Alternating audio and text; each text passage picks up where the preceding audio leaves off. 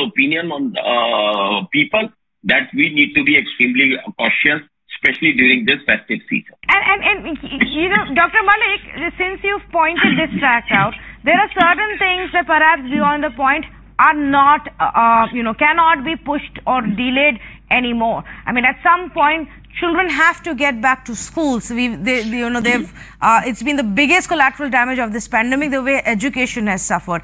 At some point, some of the economic activities, some of the shops do need to open. Uh, you know, some people do need to earn a livelihood and get to work. And, and if we had to choose in prioritize, uh, priorities, wouldn't you say that large-scale festival gatherings and religious congregations should just be the last?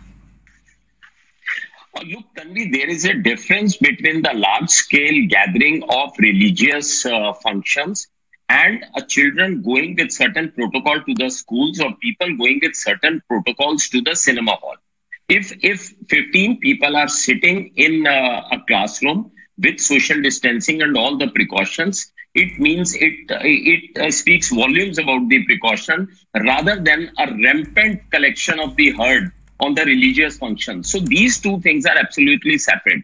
We must also understand that after one and a half years of lockdown in the schools, people are, uh, children are losing on certain other aspects. Suddenly, they need to have leadership skills. They need to have peer group interactions. They are getting depressed. They, they cannot, according to American Academy of Pediatrics, screen time should not be more than two hours. And they are spending almost eight, eight hours on the screen, uh, on the screen. So we have to weigh both the things. And, and let us not forget that large, huge political, social, or uh, uh, religious gatherings, it is a totally different scenario as compared to opening of the schools with proper pro- proper protocol and under the monitoring of the principal or the teachers and the parents and everybody. That is a separate issue. Moreover, we cannot afford to lose on the psychology. As a pediatrician, I can tell you children are getting sick. They are getting more obese. They are getting because of lack of activities and other things they are getting depressed for that matter.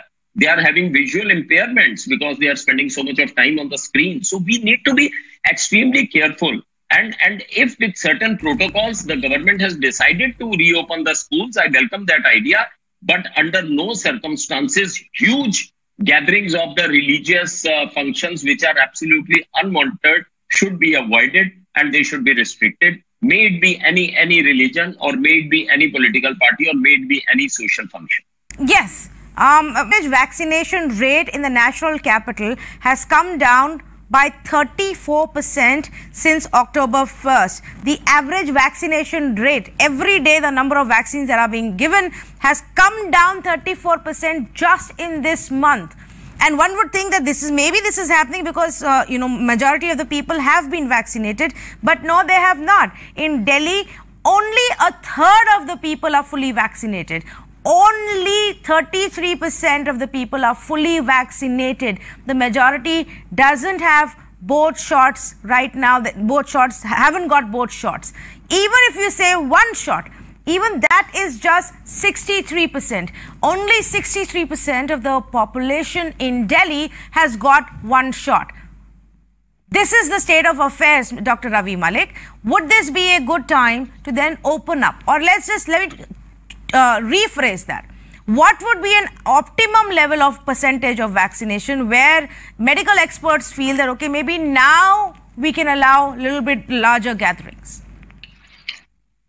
We should have an herd immunity of at least 70%, 65 to 70% before we can say that we are reasonably. Now, herd immunity means both the doses of vaccine should be given to the patient. Single dose of vaccine has no meaning.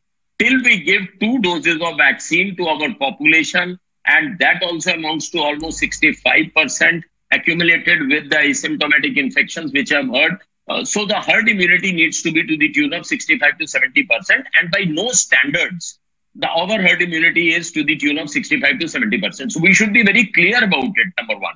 Number two, I, I will just tell you in the bullet points. Number two, our children are vulnerable. 41% of our population is below the age of 18 years, and not even a single child has been vaccinated. Not only for our sakes, but let us join hands for the sake of the life of our children. They are not vaccinated. So in case another pandemic wave comes, our children are likely to suffer more. And, and we should be impartial. I fully agree with the now, my uh, political friends that we need to be extremely impartial. Whatever may be the function, these social gatherings, may it be a political gathering, may be a religious function belonging to any religion, we we cannot change our goalpost for that matter. That look for this function, the uh, uh, strategy will be this, and for this function, the strategy will be this, or our uh, uh protocol will be this, and we should follow COVID appropriate behavior in letter and spirit both. And I will like to go further. Any violator who is violating the uh, COVID appropriate behavior, he should be dealt with the iron hands. He should be dealt strictly. Why? Because he is not only risking his own life, but he is risking the life of other people and their children. So violators should also be uh, taken with an uh, iron fist for that matter. They should be dealt for that matter. And in that, during that uh, trajectory of this COVID, it is going to be very important that there should not be any social spreader event. You know, a social spreader event, Tanvi, can precipitate or escalate our um, uh, second wave, or can also be a important precipitating factor for the coming up of the third wave. And we should also give gratitude to our scientists, yes. to our doctors, yes. those, those who have lost lives and we should give them the gratitude and the only way to give, pay them the gratitude is to restrict ourselves. It is extremely important for us to understand that we should restrain ourselves. Very quickly, let me also get in Dr. Ravi Malik's view on it. Dr. Malik, because there's a big debate going on whether it's safe to have people with RT-PCR tests also travel or should it be just double vaccinated? Should, should we enter a flight which is 100% full? Uh, look, the issue is right now we are not in a condition that we can afford a hundred percent full flight right now because uh, as I uh, already pointed out that our herd immunity is insufficient. So it is very important. And my critical and momentous concern is that vaccination rate is also decreasing. Probably people, I don't know, they are on the high adrenaline drive that probably this um, uh, viral illness has gone. But I must warn that this illness can haunt us in future. So it is very important for us to understand that we should vaccinate anybody who is left for the vaccination. He should uh, get the vaccination done. And moreover, now the vaccine has also been approved for children, and shortly it will be available for children. Covaxin will be available. So we should get our children also uh, vaccinated. And any kind of blatant, right. uh, you know, disregard for any COVID behavior cannot be tolerated. And we must ask certain questions. Are we are we ready to take another blow on our economy? Are we ready to, are we prepared as far as our health infrastructure is concerned?